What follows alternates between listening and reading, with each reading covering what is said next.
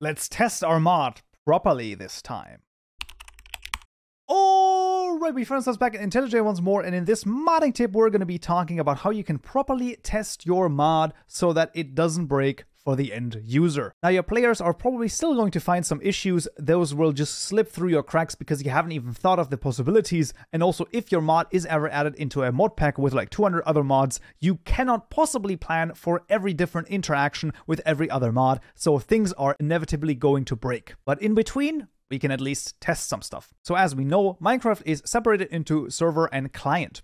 So usually we've only ever run the client, but we can also run the server. Now this works the same in Forge as it does in Fabric. You can just go to your Gradle tab, Forge Gradle runs or Forge or Fabric for Fabric basically, and you can run the run server here. So if we just run this, what you're going to find is the first thing that's going to happen is it's going to do some stuff and then it's going to spit out an error. That is totally normal. You can see existing connection was forcibly closed. Interesting. Why is that the case? Well, if we actually click here, we can see that you need to agree to the EULA in order to proceed. So we're going to go into our run folder and you can see here we have a EULA text file right here. Just double click it and change this to true. After setting this to true, we can now run the server again. You can see it's now our default here in our tasks. We can change this to client in just a moment, but for the time being, we're going to stick to server. And now the server is actually going to start. You can also see that this is going to work because in the run folder, it's actually going to generate quite a few new files for us, but we're going to see that in just a moment. So first of all, we have this, right? So now our server is actually starting over here,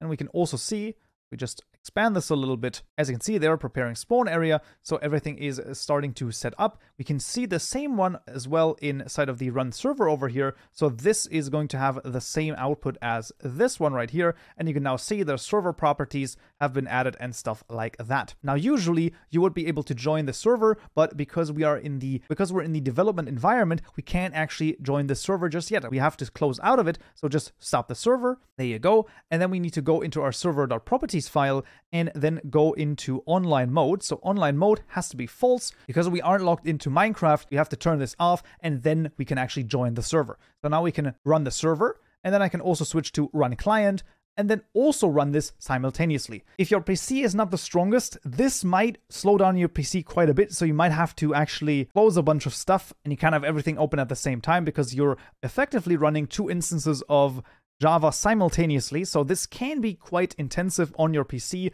but overall it should usually work. So we can see here, the server has already started, and then right here, Minecraft has also started. And there we go. Now we can go to multiplayer.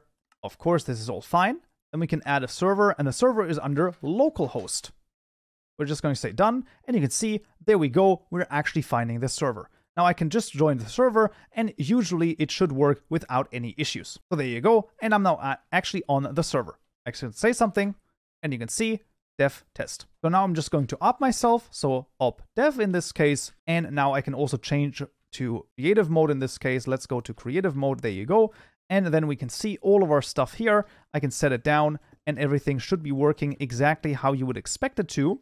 Now, what I'm, for example, interested in is whether or not the 8 ball still works, and of course, it does still work. So that's very interesting indeed. Everything seems to be working totally fine, and you can then test it out on the server, because sometimes things should not happen on the server that do, and this is a great way of actually trying this out. So I highly suggest before you publish your mod, really take a look at this, take a look at whether or not it works on the server. Sometimes you're going to get error messages. The great thing is you can also debug your way through the server as well because the server and the client share roughly the same code. You can just walk through and you can also take a look at the errors on the server. So usually it works the same way just so that you have two windows open at that time and that is going to be okay as well. Right, this would be it for this modding tip right here. I hope you found this useful and you learned something new and I'll see you all in the next video.